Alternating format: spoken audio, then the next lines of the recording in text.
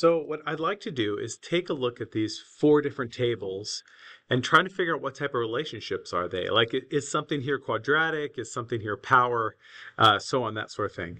So the way that we're going to be able to do it is we'll look at the types of change that are going on. So as x is changing, how's y changing? And on this first one, if you look at this first one, I can see that x is adding 2 each time. And as that happens, looks like y just changes by 5, adds 5 each time. So we could call this a plus-plus relationship, right? As x changes by consistent addition, y changes by consistent addition as well. And at the end, we'll talk about what type of relationship that is. So uh, I, am just recognizing what's going on. So I'm looking at this one. X is changing by addition again, but Y is not changing by addition because this would be plus 60. This would not be plus 60. But it looks like it's multiplying. It looks like it's times 4 to me times 4 times 4. Yep. Times 4 times 4. So, eh, but, but x is changing by, oh, that should be a 2, by addition each time. So I'm going to call this addition multiplication. So it's, as x is changing by addition, y is changing by multiplication. And if I look at this one, it actually, like, I can see this is lined up to change by addition. But if I were to look at these distances, it's not addition, it's not multiplication. This one's kind of funny. I'm going to think of this one as changing by multiplication. So like 2 times 2 is 4. And I'm just going to skip the 6 and go to the 8. Uh, 4 times 2 is 8. So as that happens, how did these change? And you know what I can do is just grab my calculator and do a little division or whatever to check it out. So I'm going to see like uh, 96 divided by 12. You might already know that, but that's okay. Looks like it's 8.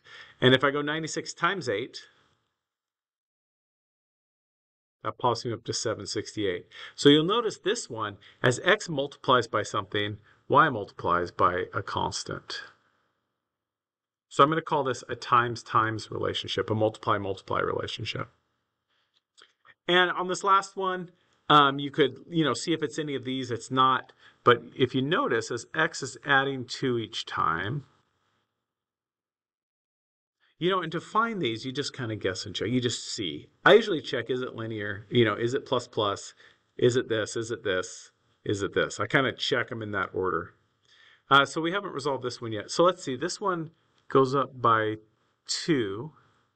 And then this goes up by, oh my gosh, I'm going to be so lazy and I'm just going to go 206 divided by 180. Wow, by 26.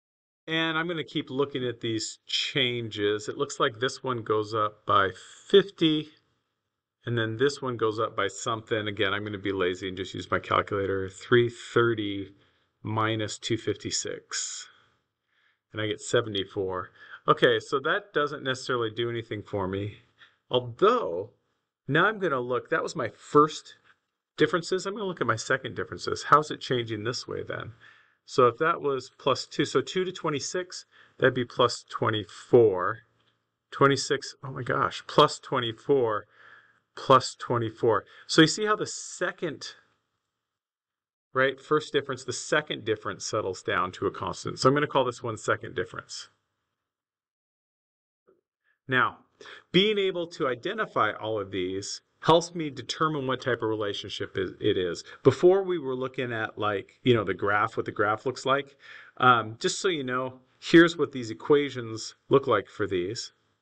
And uh, we said that this first one was plus plus, plus, uh, plus multiplication, multiply, multiply, and second difference. This is what happens. So if my table ends up being plus plus, this changes by addition, as this changes by addition, it's linear. And I can use a linear model, right? That y equals ax plus b.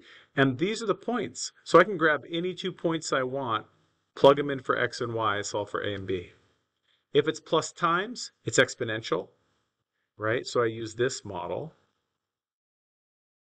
Ooh, that is sloppy as heck. If it's multiply, multiply, it's a power relationship.